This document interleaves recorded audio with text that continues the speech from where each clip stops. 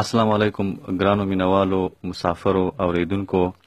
پښتو ادبي ملاقاتونه له تاسو سره یو ورته بیا مخامخ ده او تاسو ته تا پروګرام ریکارډ کوي زه اوس په موټرسایکل باندې راغلو د ګومل شهر ته ضلع ټانک خیبر پښتونخوا او دلته مو چې د موږ ملګری هم ده او ډیر پوه او تکړه شاعر ده له هغه سره ملاقات ته د ګوملې خاص په ښار کښې او د رفیع پریشان صاحب په حجرې کښې ناست یو ملاقات هم له ده سره ده نو زه خو به دا بهتره وګڼه چې له پریشان صاحب سره زیاتې خبرې شریکې کو نو پریشان صاحب په خیر راغلی مهرباني خوشحال اوسې خیر دې درته پریشان صاحب که دا مختصر تعارف چې وکړې په دوه درېو ټکو کښې چې په خپلې خولې چې د کوم ځای اوسېدونکی نام او د پلار نام وغیره زه اوسېدونکی د ګوملې خاص دی ګومل یم پلار نوم مې محمد حسن ده قوم مې خونخیل ده او ډېر دې ډېره شاعري چې ګوتې ویم او ګوډه ړنده سره ټولوم که نه یارانو سره دورې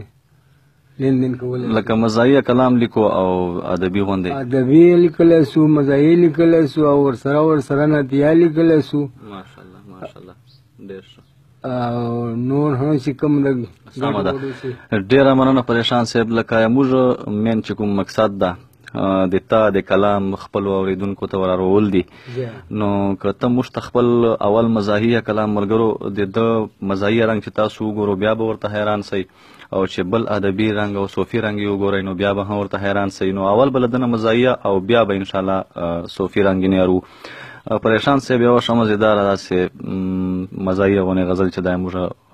مینوالو ته ور وړاندې کړي غزل خو یوه کتابه درته ووایم هغه ورته وایم چې کالي دې شوی دي کالي دې شوی دي له اوږې نه دې ټیکری شویږي واه کالي دې شوی دي له اوږې نه دې ټیکری شویږي په شویندي چې ورته ګورې نه سړی شویږي ملداسې چې کړي دي چې تس لاس دې په ولګېږي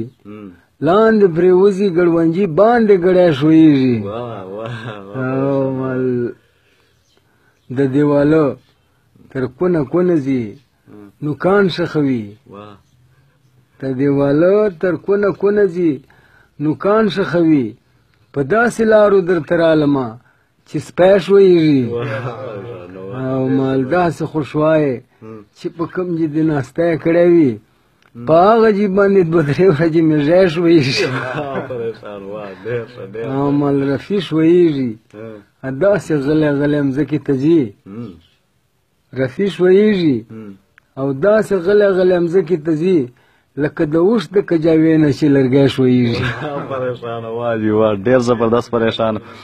یو که چیرې داسې بل مزایه درته یادوي مینوالو ته چې وایي نه به عبادت ورته وایو بل ورته وایي چې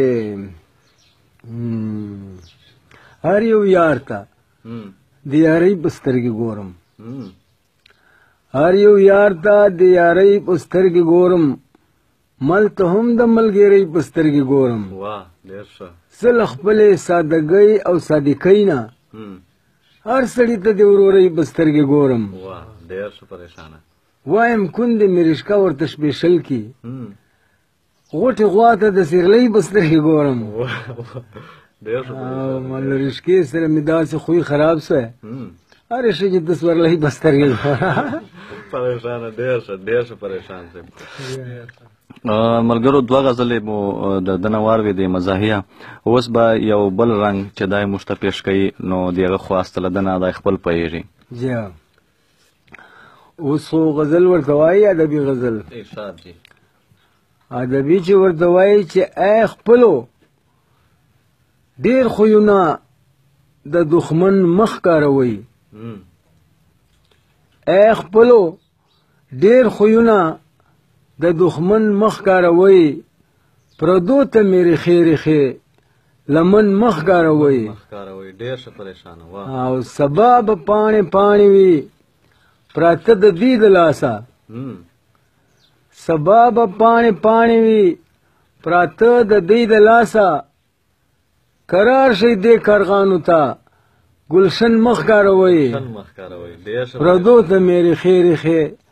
لمن مخ کاروي او شاته ورته وایي چې دوم بنده چې د هر یو سړي به زړه راوخیزي خپل کور ته د هر یو سړي به زړه راوخیزي خپل کور ته پردیس کې تصویرونه د وطن مخ کاروي پردو ته مې ریخې ریخې لمن مخ کاروي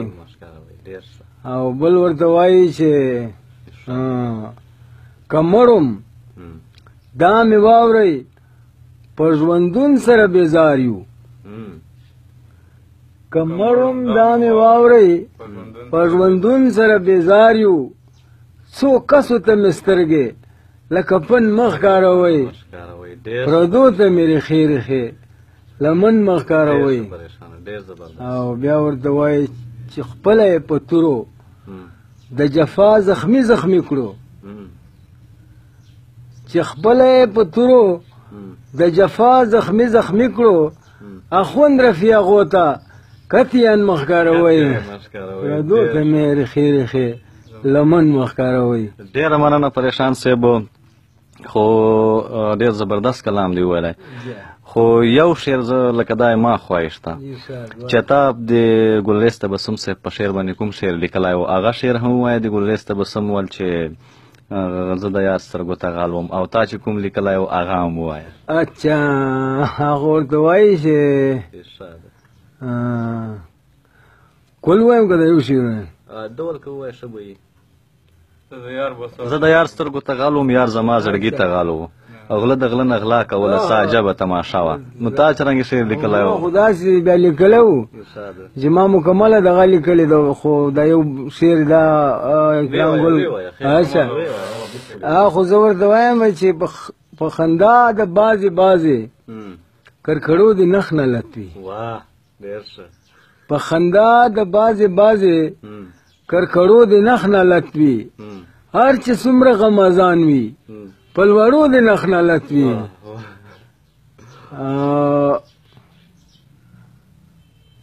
ها چې د بل په تالۍ خوري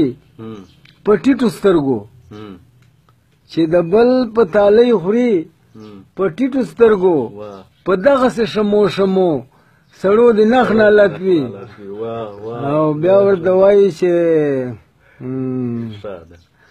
له په سر به د لپاسه سپینې داڼې راورېږي په سر به د له پاسه سپینې داڼې راورېږي کوټې کې په جنجن والو کړو د نخ نه لهت وي او بیا ورته وایي چې ته د یار بوسو ته غل وې یار د تا پیسو ته غلو دا هغه شعر ده چې ته د یار بوسو ته غل وې یار د تا پیسو ته غلو هي خو دواړه سره غلوي په دوارو دې نه خنا لهتوي او بیا ورته وایي چې رفي سړی رشکا په یو نه سي کټ کوله رفي سړی رشکا په یوه نسی کټ کوله بازار کې په دامن پلو ولو هریړو دې نخ نه لټ ډیره مننه پریشان صاحب د تاسو وخت را کولو یو جهان مننه نو ملګرو ان شاء الله تر بل پروګرام پورې ما اکرام الله امید ترا کوي اجازه د لوی الله پامان